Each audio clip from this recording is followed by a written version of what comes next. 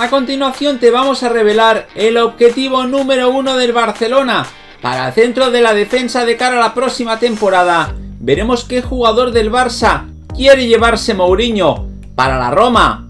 El último detalle de Aubameyang con la afición del Barcelona y el plan que tiene Xavi para romper los partidos. Os animamos a que os quedéis hasta el final del vídeo y a que nos dejéis un buen like. ¡Vamos a ello!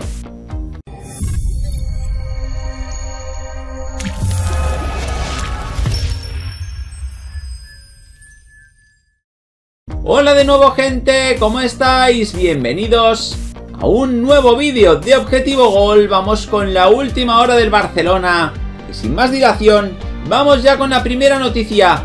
Vamos a hablar del posible fichaje de Matis de Ligt por el Barcelona. El Fútbol Club Barcelona baraja varios nombres para reforzar su defensa en la próxima temporada, y uno de los principales objetivos del club apunta a la Juventus de Turín. Según la periodista Sara Screw, Matis de Ligt es el favorito de Xavi Hernández para acompañar a Ronald Araujo y Gerard Piqué a partir del próximo verano. El neerlandés ya fue objetivo del Barça en 2019, pero los italianos lograron firmar al defensor a cambio de 85 millones de rublos. Con contrato hasta 2024, el jugador de 22 años está valorado en 65 kilos en la web Transfer Market. De momento, la Vecchia Signora no tiene intenciones de venderlo, por lo cual Joan Laporta tendría que negociar directamente con el agente del lead, Mino Rayola. Las relaciones del presidente culé con el representante de origen italiano siempre han sido buenas, pero las negociaciones por el líder no serán nada sencillas. Tras la salida de Cristiano Ronaldo, el neerlandés pasó a ser el jugador mejor pagado de la plantilla con un salario de 8 millones netos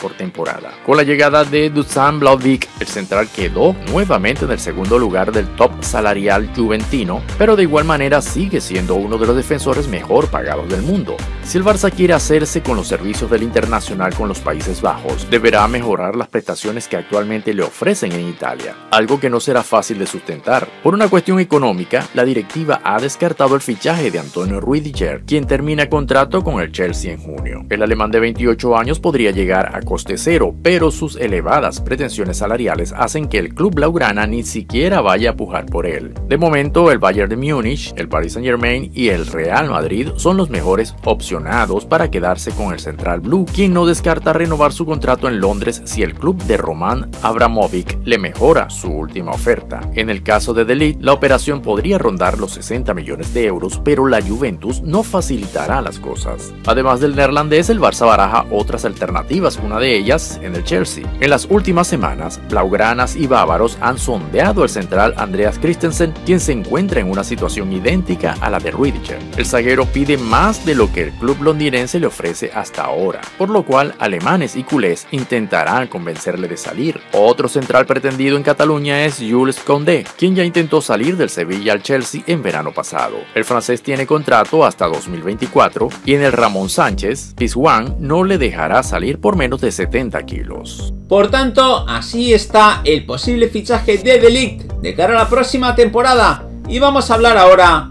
del interés que tiene Mourinho en Serginho Dest. La Roma, pese a estar peleando por meterse en Europa la próxima temporada, tiene un ojo puesto en la campaña 2022-2023 y Mourinho seguirá en la disciplina italiana si nada cambia. Es por eso que la Gaceta dello Sport apunta que el técnico portugués le ha pedido a la institución reforzar el lateral derecho y el nombre que ha puesto encima de la mesa ha sido el de Serginho Dest. El actual futbolista del Barcelona tiene a Mónaco y Borussia, entre otros, muy pendientes de su situación y ahora hay que añadir a la Roma, ya que una petición expresa de The Special One. Asimismo, la citada fuente señala que se espera de cara al verano una oferta de los Rossi por sus servicios. Se rumorea que será de unos 20 millones de euros. Kadersdorp no le está funcionando a Mourinho y el portugués quiere cambios en el equipo. En lo que llevamos de temporada, Des ha disputado 22 partidos en los que ha firmado 3 asistencias.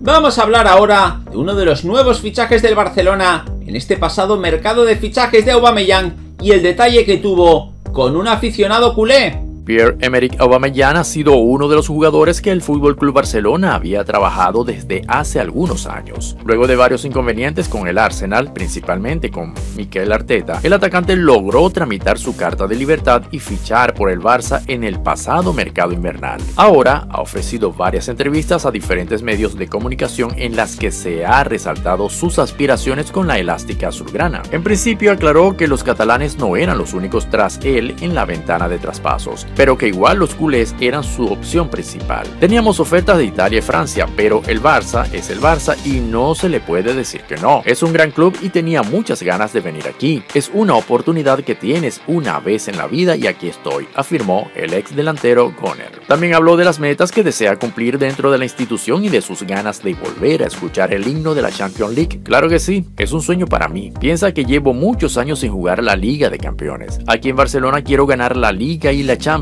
declaró el también ex Borussia Dortmund, dejando claras sus ganas de alzar ambos trofeos. Los blaugranas tienen un compromiso muy importante este jueves frente al Napoli por Europa League, una competición que dejó una espina en Auba en 2019, donde estuvo muy cerca de ganarla. Sí, aún tengo clavada esa espina de la final ante el Chelsea. Ahora tengo otra oportunidad y también para nosotros es para ir a Champions. Debemos vencer en Nápoles, respondió el gabonés, quien tiene contrato hasta 2025. Después de un partidazo en Mestalla frente al Valencia donde marcó un hat-trick, Aubameyang le ha hecho una promesa al aficionado culé para la final en el Diego Armando Maradona. Vamos a darlo todo. Personalmente voy a seguir trabajando como he hecho desde que he llegado. No quiero ganar partidos si quiero esta Europa League, si quiero ganarla. Tenemos que vencer en este partido, concluyó, declarando que no se guardará nada ante los italianos. Y ya para acabar, vamos a hablar del plan que tiene Xavi con Dembélé y Adama. Los medios de comunicación ponemos el foco en los 11 elegidos para salir de inicio en un partido, aunque los entrenadores piensan en cómo empezar, pero también en cómo acabar o reaccionar en caso de que las cosas vayan mal. En el caso del Barça, Xavi Hernández lo tiene claro. Se quiere guardar un as en la manga para las segundas mitades en forma de extremo agitador, es decir, Dembélé o Adama. Ambos son, hasta la fecha, los revulsivos por excelencia del egarense. Tanto el francés como el del Hospitalet responden a un perfil similar de jugadores, explosivos, rápidos, con cambio de ritmo diferencial y, para qué negarlo, en ocasiones no tomando la mejor decisión. Su físico privilegiado hace que de cara a las segundas mitades puedan romper los partidos ante defensas ya desgastadas. Sin ir más lejos, ha sido entrando desde el banquillo cuando Dembélé ha tenido sus mejores actuaciones esta temporada. Además, igual que les sucedía en el pasado a jugadores como Larson o Guti, tanto Adama como Houseman tienen estrella entrando en refresco. Eso no significa que no puedan ser titulares, pues el jugador cedido por los Wolves rindió a gran nivel ante el Atlético y Español. No es casualidad que ambos no hayan coincidido todavía en el 11. Adama salió de inicio ante Atlético Español y Nápoles, mientras que Dembélé lo hizo en Valencia. En los cuatro partidos, el técnico azulgrana se aseguró un puñal en la reserva para desarmar a la saga visitante si el marcador así lo requería. De hecho, el catalán y el galo solo han coincidido sobre el terreno de juego en una ocasión. Fue en el derby y porque el resultado era desfavorable. Entonces sí, Xavi fue con todo para buscar la remontada y no dudó a la hora de armar los dos flancos con pura dinamita. Ante el Nápoles, ya con 1-1 en el luminoso, Guzmán entró por Adama, mientras que en Mestalla el francés ya había sido reemplazado por Nico cuando el de los Wolves saltó al campo. Así las cosas, todo puede pasar el jueves, pero la lógica apunta a que al menos uno de los dos deberá esperar su turno en el banquillo, teniendo en cuenta que probablemente Gaby ocupará el costado izquierdo del Lo normal sería equilibrar en el otro lado con un jugador con más desborde. Ferran también lo tiene. Nada más por el momento, como siempre animaros a que os suscribáis al canal para seguir viendo todos nuestros vídeos. Y aquí os dejamos este vídeo más que interesante para que sigáis disfrutando de todas las noticias del fútbol. ¡Hasta la próxima!